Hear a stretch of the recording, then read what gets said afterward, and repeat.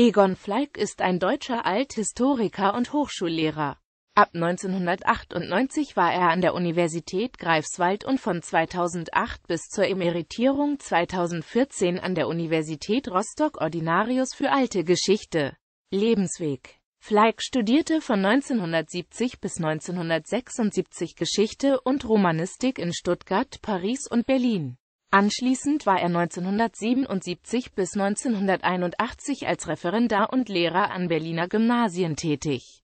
Von 1982 bis 1984 arbeitete er als Übersetzer und studierte nebenher Philosophie. Nach der Promotion in Berlin bei Alexander Demand und Jakob Taubes im Jahr 1984 zu angeschaute Geschichte zu Jakob Burckhardts griechischer Kulturgeschichte und der anschließenden Tätigkeit als wissenschaftlicher Assistent an der Universität Freiburg im Breisgau bei Jochen Martin erfolgte 1990 die Habilitation mit einer Arbeit über Usurpationen in der römischen Kaiserzeit. Anschließend lehrte Fleig zunächst als Privatdozent in Freiburg und Göttingen, arbeitete darauf am Göttinger Max-Planck-Institut für Geschichte war 1995 Gastprofessor am Collège de France bei Pierre Bourdieu und seit 1998 ordentlicher Professor für Alte Geschichte an der Universität Greifswald. Nach Einstellung der alten Geschichte in Greifswald wurde er zum 1. April 2008 an die Universität Rostock versetzt, wo er die Nachfolge von Rainer Bernhard antrat. Im Juli 2014 wurde er emeritiert. Gastprofessuren führten ihn 2000 und 2001 ans Center Gustav Glotz und die Universität Konstanz. 2002 bis 2003 war er Fellow am Wissenschaftskolleg zu Berlin, 2009 bis 2010 Stipendiat des Historischen Kollegs in München. Fleig erhielt 1996 den Hans-Reimer-Preis der RB Warburg Stiftung. Forschungsinteressen und theoretische Grundaspekte Fleig ist einer der einflussreichsten Vertreter derjenigen Althistoriker, die in besonderem Maße auf die Erkenntnisse der französischen Annales-Schule und auf soziologische Theorien rekurrieren. Dabei legt er einen Schwerpunkt auf die Strukturanalyse der politischen Praktik. Fleig selbst betont, dass er aus keiner althistorischen Schule stamme. Er orientiert sich theoretisch an Pierre Bourdieu und Max Weber und ist von der Cultural Anthropology beeinflusst. Er sieht sich selbst weit entfernt von der traditionellen deutschen Althistorie, deren Vertreter er nicht selten mit polemischen Aussagen provoziert hat. Seine Arbeitsweise wird umgekehrt von nicht wenigen Gelehrten kritisiert. Gleichzeitig aber auch rege diskutiert, manche seiner Auffassungen und Thesen sind auf teilweise heftige Ablehnung gestoßen. Andere hingegen erfreuen sich breiter Zustimmung. Wichtiger Punkt seiner Arbeit ist die interdisziplinäre und vergleichende Forschung. Dabei nimmt er bedeutend Anleihen innerhalb der Soziologie wie auch der Anthropologie. Eine eindeutige Einordnung als Althistoriker erscheint daher zweifelhaft.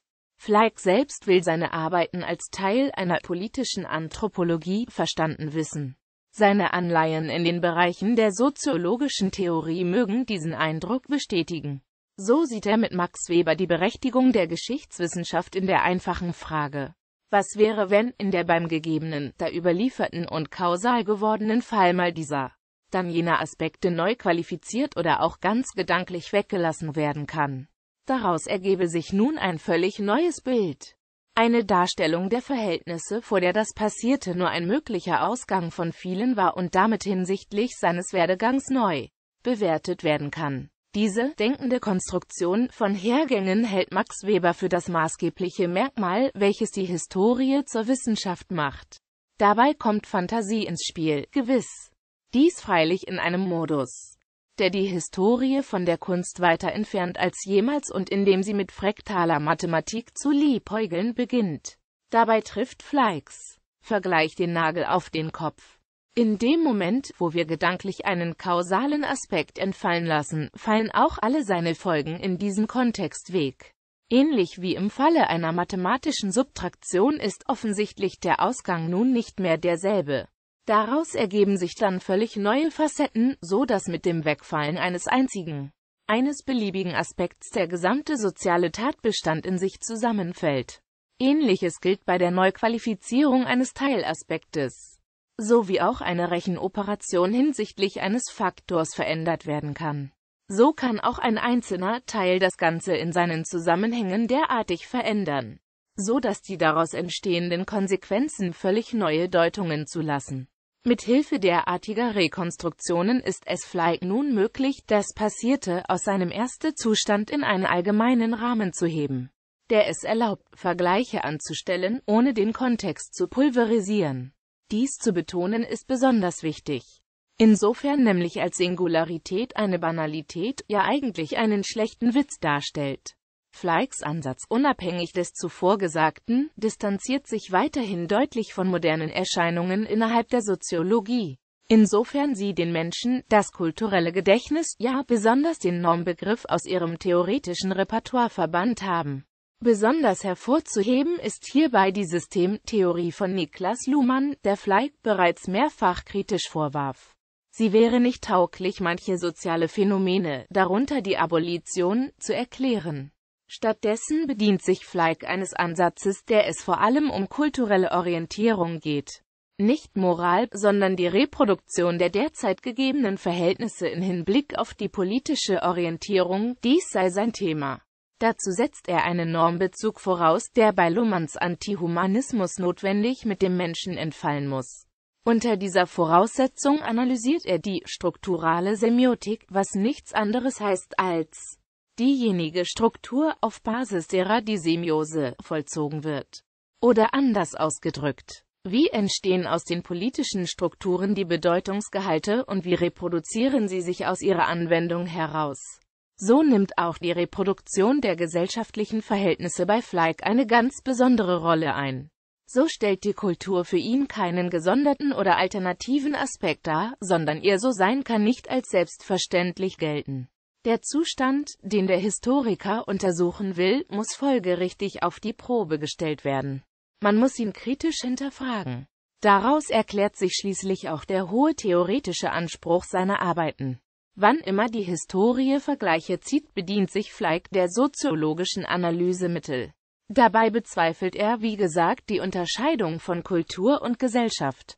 Vielmehr sei Kultur kein eigener Bereich der Gesellschaft, sie ist eine Dimension, die in allen Bereichen notwendigerweise vorhanden ist. Insofern also Kultur in allen Aspekten der Gesellschaft sich wiederfinden ließe, sei diese von jener durchdrungen und damit durch sie beeinflusst. Aus diesem Blickwinkel betrachtet entfaltet damit auch der gewöhnliche Alltag für Fleig ganz neue Facetten. Besonders deutlich wird dies in seiner Mehrheitsentscheidung, ja in allen Analysen, in welchen die Teilnahme an demokratischen Prozessen eine bedeutende Rolle gespielt haben. Ganz im Sinne der Unterscheidung von heißen und kalten Zuständen des Sozialen analysiert Fleig so das Wesen der politischen Momente dabei Kälte keine kulturelle Schwäche als vielmehr eine Leistung darstellt, die es zu reproduzieren gilt. Der Zeichencharakter von Gebärden, Gesten und performativen Akten erfüllt sich in der Bezogenheit auf Normen und Werte, auf Sinngehalte, an welchen die Akteure sich orientieren. Dennoch ist die kulturelle Semantik, das Ensemble dieser Sinngehalte, keinesfalls der Schlussstein und der Schlüssel zur historischen Erklärung. Sie bildet kein transzendentales Himmelsgewölbe, an dessen Sternen die historischen Akteure jederzeit ihre Handlungen ausrichteten. Kulturelle Semantik stabilisiert zwar, doch sie hält sich nicht von alleine stabil. Sie wirkt, wie die Praxiologie von Pierre Bourdieu uns lehrt, nur im aktualisierenden Vollzug, rituell und institutionell. Öffentliches Wirken Breite öffentliche Aufmerksamkeit erhielt ein Essay Flikes in der Frankfurter Allgemeinen Zeitung vom 15. September 2006. In diesem Artikel setzte er sich kritisch mit der Geschichte der Expansion des Islam und dessen Verhältnis zur Gewalt auseinander. Er kommt zu dem Schluss, wer weiterhin das Märchen von der islamischen Toleranz verbreite, behindere jene muslimischen Intellektuellen die ernsthaft an jener Reform des Islam arbeiten, die im 19. Jahrhundert so erfolgversprechend begann gelänge es den Reformern, den Islam radikal zu entpolitisieren, dann könnten die Muslime zu wirklichen Bürgern in ihren Staaten werden. Im Oktober 2007 veröffentlichte Fleig im Merkur unter dem Titel Zur Unvergleichlichkeit, hier wird's Ereignis. Reflexion über die moralisch erzwungene Verdummung einen Beitrag zur Singularität des Holocaust Fleig schrieb, dass die vermeintliche Singularität einer Banalität gleichkomme. Im Rückblick auf den 25 Jahre zuvor ausgetragenen Historikerstreit griff Fleig in einem Artikel für die Frankfurter Allgemeine Zeitung vom 17. Juli 2011 den Sozialphilosophen Jürgen Habermas scharf an. Habermas hätte damals mit Zitatfälschungen und denunziatorischen Urteilen operiert und keine Ahnung von den theoretischen Voraussetzungen Ernst Noltes gehabt. Bildung hat Habermas stets anderen überlassen, dementsprechend sehen seine Werke aus. Fleig vertrat in dem Zeitungsartikel die Ansicht, dass historische Erkenntnis auch in Bezug auf den Holocaust darauf beruhe, dass man so sehr als möglich kontextualisiert, relationalisiert, relativiert und revidiert. Den Historiker Den Deiner machte Fleig für eine von ihm sogenannte Sakralisierung der Shoah verantwortlich und bezichtigte ihn des moralischen Terrors. Fleig schrieb, dass die Erinnerung an die Verbrechen des Nationalsozialismus keinesfalls den Kern der Erinnerungskultur darstellen sollte. Dauerhaft bestehen, so Fleig könne das deutsche Volk freilich nur als normales Volk, nicht als stigmatisiertes. Heinrich August Winkler antwortete darauf wenig später mit einem Artikel in der Zeit indem er Fleigs Argumentation in die Nähe einer deutsch-nationalen Geschichtsapologie rückte. Am 8. Juli 2014 fand in Rostock ein studentisches Gegenkolloquium anlässlich von Fleigs Emeritierung statt. Zweck dieser Aktion war es ein Zeichen zu setzen, da die Veranstalter fürchteten, man würde die politischen Aspekte von Egon Fleigs Forschungstätigkeit zu kurz kommen lassen nämlich in einem vier Tage später stattfindenden Ehrenkolloquium. Hintergrund dieser Veranstaltung wiederum sei es gewesen, Egon Fleig für seine vielfältigen wissenschaftlichen Verdienste zu ehren. Dabei werden jene Forschungsmethoden und Themen im Vordergrund stehen, die auch Egon Fleigs dezidiert theorieorientiertes, praxeologisch und komparatistisch ausgerichtetes historisches Arbeiten bestimmen. In vier Vorträgen wird der Bogen vom antiken Hellas über die römische Republik und Kaiserzeit bis nach Israel gespannt. Auf diese Weise sollen weiterführende Perspektiven der politischen Anthropologie der Antike in kritisch-reflexiver Auseinandersetzung mit den Ansätzen und Themen Egon Fleigs eröffnet und zur Diskussion gestellt werden. Beide Veranstaltungen, Ehren wie gegen Kolloquium, waren öffentlich zugänglich. Schriften Giovanni Boccaccio dargestellt von Egon Fleig. Angeschaute Geschichte. Zu Jakob Burckhardts griechische Kulturgeschichte. Den Kaiser herausfordern. Die Usurpation im Römischen Reich. Ödipus. Tragischer Vatermord im klassischen Athen. Ritualisierte Politik. Zeichen, Gästen und Herrschaft im alten Rom. Wandenhöck und Ruprecht Göttingen 2003 ISBN 3 5253670007 Warum weint der Feldherr? Rezension von Uwe Walter, Frankfurter Allgemeine Zeitung. 12. September 2003 Essay Die Dschihad und Demitiut. Warum der Scharia-Islam gegen die Menschenrechte steht. In Moritz. Nummer 60 Dezember 2006 S.